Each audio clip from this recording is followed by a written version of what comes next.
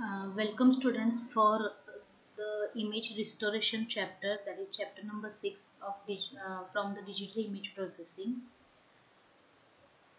So the image restoration is nothing but to reconstruct or recover an image that has been destroyed by the by a known degradation phenomena or parameter the restoration is thus tried to model the degradation process and apply the inverse process in order to reconstruct the original image so re- reconstructing or reverting back your original image nothing but the restoration process by known parameter by applying the inverse process on the known parameter which are applied for the processing of the image.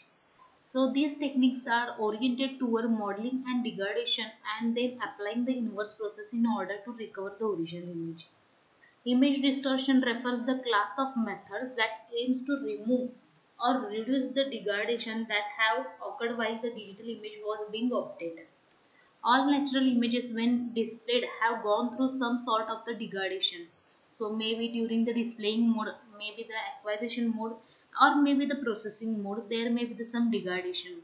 So degradation due to the uh, due to the sensor noise, blur to uh, blur due to the camera misfocus and or may be the relative object camera motion or random atmospheric turbulence or maybe the other factors so degradation may arises so this is the image degradation or restoration model the degradation process is generally modeled as a h that is degradation function and the additive noise eta of xy together they yield or they give the g of x.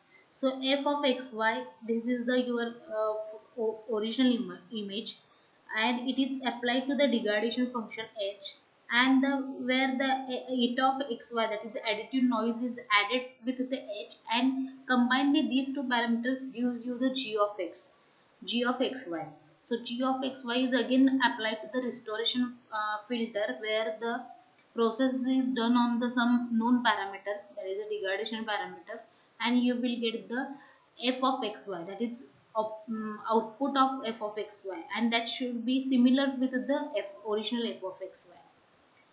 So the given g of x uh, is some knowledgeable about h of h and eta of xy is the objective of the restoration to estimate the uh, f of xy. Of course this estimation should be close to the your possible to the original f of xy. So this f of xy should be very close to the f of xy. It is expected.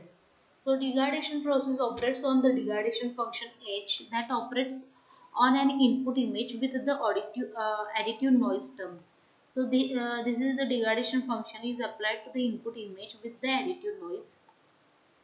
And noise can be represented as a eta of xy. These two terms can be combined to give the result of g of xy. So h plus additive noise gives you the g of xy. If uh, we are given g of xy, the some knowledge about the degradation function h and the some knowledge about the additive noise term eta of xy.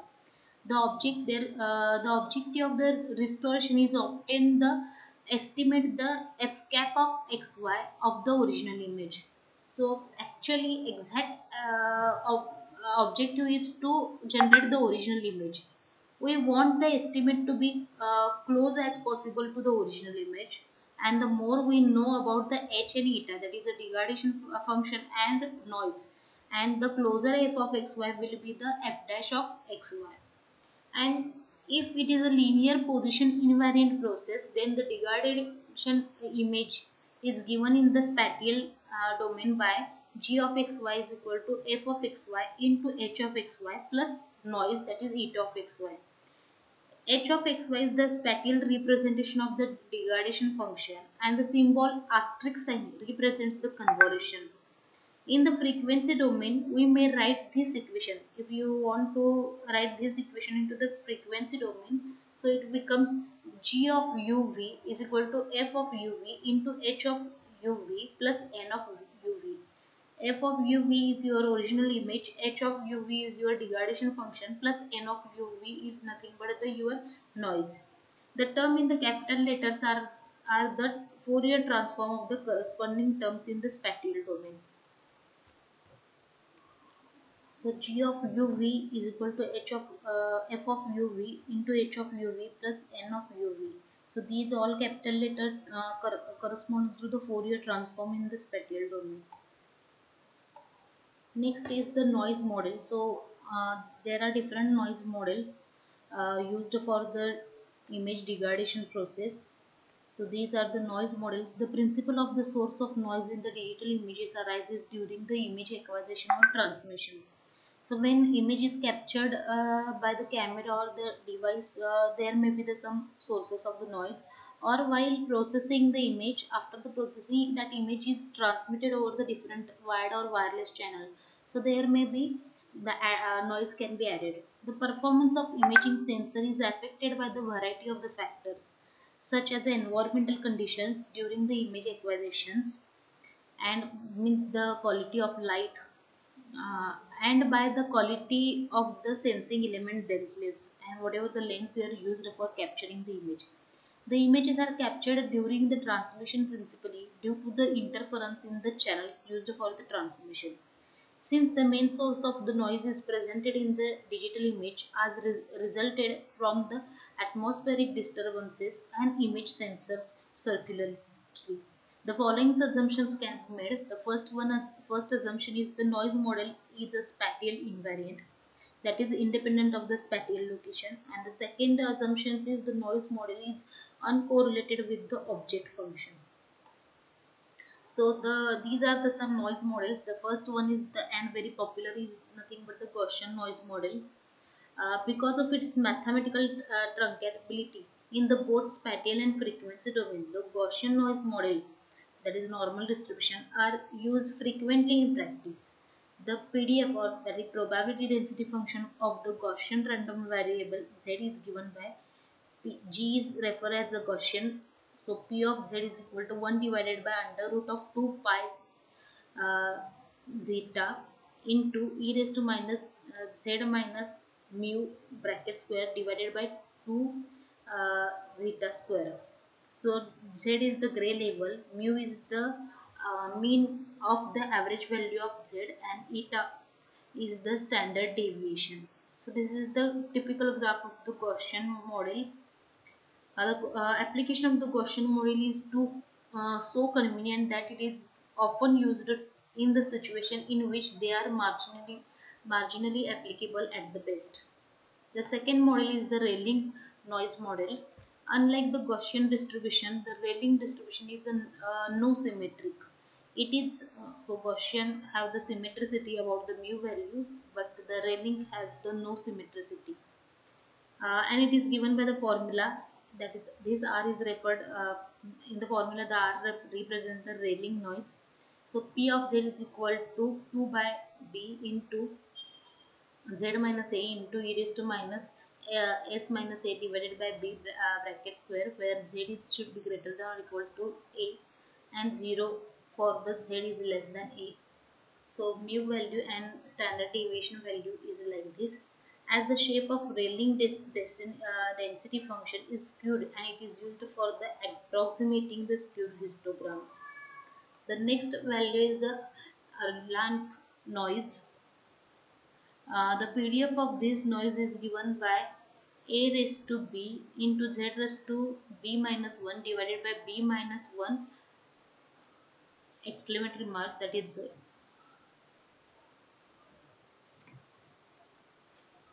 So where a is greater than 1, b is the positive integer, the mean is b by a and the uh, variance is uh, sigma square is equal to b by a square. This is the graph of the um, Erlang noise. Its shape is similar to a Rayleigh distribution. This equation is referred to as a gamma density. It is correct only when the denominator is the gamma function.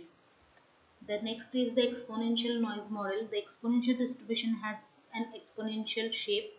The PDF is a into e raised to e raised to minus of az where z should be greater than or equal to 0 otherwise it is zeroth function where mean is the 1 by a and variance is the 1 by a square. The exponential noise model is specific case as a Erlang noise model with b is greater than uh, 1.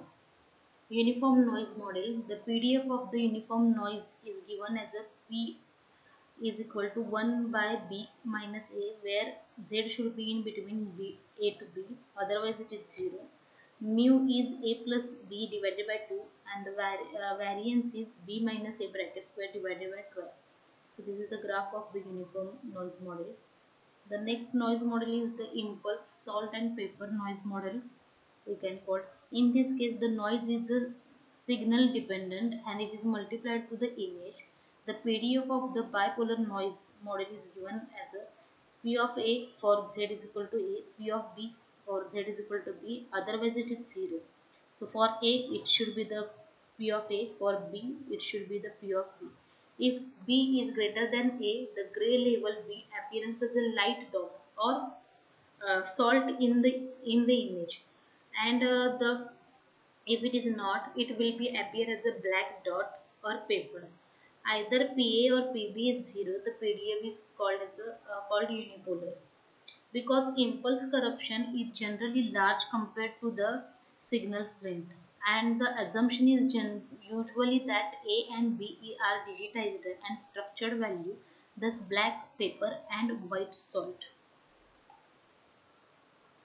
The presented noise model provides the useful tools for the approximating the board range, broad range of the noise corruption situation found in the practice. For example, the Gaussian noise arises in an image due to the sensor noise caused by the poor illumination and high temperature and electronic circuit noise. Due to these, Gaussian noise can be occur. Rayleigh noise model can be used to characterize the noise phenomena in the range of in the in image uh, range images and the exponential and Erlang noise models find their application in the laser imaging. Impulse noise takes place in the situation where high transients faulty switching occurs. So these are the some examples. The virtual comparison of the different noise sources are so this is the Gaussian noise and its histogram, Rayleigh noise and its histogram and similar to the all noise model and its respective histogram. Next one is the periodic noise. The periodic noise typically arises from the electrical or electromechanical interferences during the image acquisition and is a spatial dependent. So this is the periodic noise on the satellite image and the spectrum of the image with periodic The next one estimation of the noise parameter. Noise can be estimated with the different cases. In the rare case parameters of the noise PDF may be known from the sensor specification. So sensor specification is very useful but it is often necessary to estimate them from a particular imaging arrangement. If imaging system is available, one simple way to study the noise characteristic would be would be to capture the multiple images of homogeneous environment such as a solid gray cars. In many cases, the noise parameters to be estimated from the already captured images.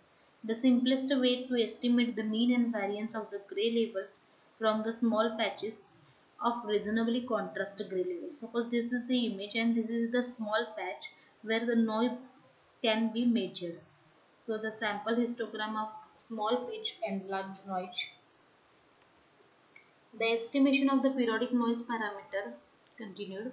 The parameters of the periodic noise are typically estimated by the inspection of the Fourier spectrum. The frequency spike can be often detected by the visual analysis.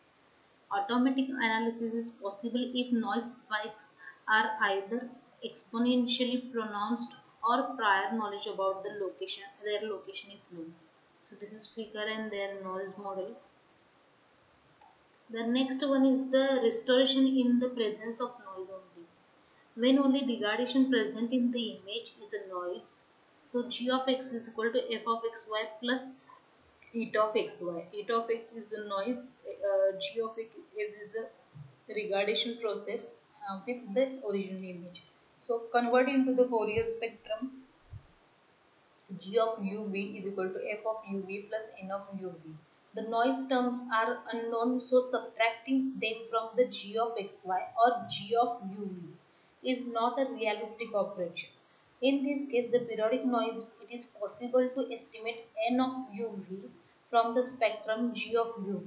So n of uv can be subtracted from the g of uv to obtain the estimate of the origin image. The spatial filtering can be done when only additive noise can be present. So spatial filtering used when the additive noise only present. The periodic noise reduction by the frequency domain. One is the band reject. The band reject filter removes or attenuates the band of frequencies around the origin in the Fourier transform. This is the formula for the ideal band reject filter and its response. This is the Butterworth band filter and its response. This is the Gaussian band filter formula and its response. This, this is the periodic noise, aerial image with periodic noise where uh, this image is processed with the ideal band filter. This image is processed with the Butterworth band filter and this image is uh, um, processed with the Gaussian band filter. These filters are mostly used when the location of noise component in the frequency domain is known. So these filter are uh, is used only when the location of noise component is known. The sinusoidal noise can be easily removed by using uh, these kinds of the filter because it shows two impulses that are mirror image of each other the origin of the frequency transform the next filter this the first filter was the band reject filter. The opposite of the band reject filter is nothing but the band pass filter. The function of band pass filter is opposite to that of the band reject filter. It allows the uh, allows some specific frequency band of the image to be passed and the uh, blocks the rest of the frequencies. So you know the band pass filter only passes some specific frequency and attenuates the other frequency. The transfer function of the bandpass filter can be obtained from corresponding band reject filter with the transfer function h of Br. Br is nothing but the band reject filter. So if you uh, subtract the band reject formula from the one, so you will get the bandpass filter formula. So h of Bp that is the bandpass filter u into v is equal to 1 minus band reject filter formula. So this filter can be applied directly on an image because it removes the too much details of an image. Cannot be applied sorry. This filter cannot be applied directly on an image because it may remove the too much details of an image. But these are effective in isolating the effects of the image uh, of the selected band frequencies. So these are the ideal uh, bandpass filter. This is the butterworth. Second uh, figure is butterworth and third filter is the Gaussian bandpass filter. So the graph of same examples of bandpass filter. The next one is the notch filter. Notch filter rejects or passes the frequencies in predefined neighborhoods about the center frequency. Due to symmetry of the Fourier transform, the notch filter appears in symmetric pairs about the origin. Expect the one origin. This is the ideal notch filter and its uh, histogram or graph. This is the Butterworth notch filter and this is the Gaussian notch filter. So uh, this is the about the uh, noise model and noise filters. Uh, thank you.